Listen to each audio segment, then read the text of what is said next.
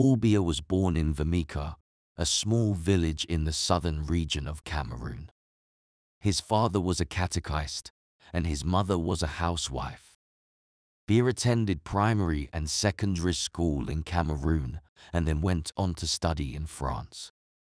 Political career Biya's political career began in 1962 when he was appointed as director of the cabinet in the administration of Cameroon's first president, Amadou Ahidjo.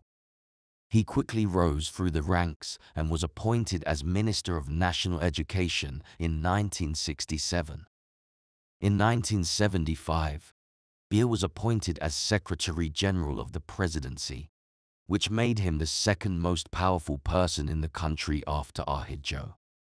In this role, Biya was responsible for managing the day-to-day operations of the presidency and advising Ahidjo on policy matters. In 1977, Biya was appointed as Prime Minister, a position he held until 1982 when Ahidjo resigned, and Biya succeeded him as president. Presidency Biya's presidency began in 1982, and he was re-elected in 1984, 1988, 1992, 1997, 2004, 2011, and 2018.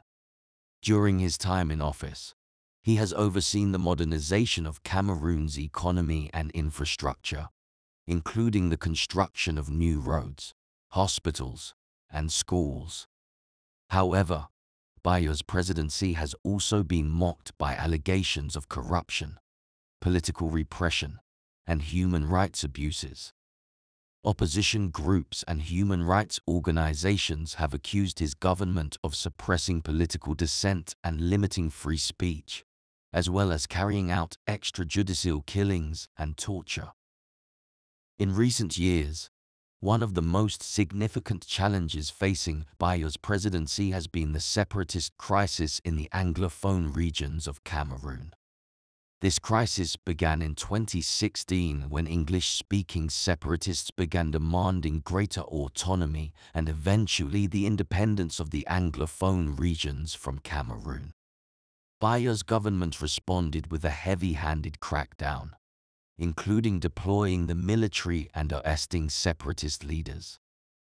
Personal life Paul Biya is married to Chantal Biya, who is a prominent figure in Cameroonian politics and known for her charitable work. The couple has two children. Overall, Paul Biya's presidency has been mocked by both achievements and challenges. While his government has overseen significant economic and infrastructure development in Cameroon, his presidency has also been criticized for alleged human rights abuses, corruption, and political repression. The separatist crisis in the Anglophone regions of Cameroon remains a significant challenge to his government, and its resolution will likely shape his legacy.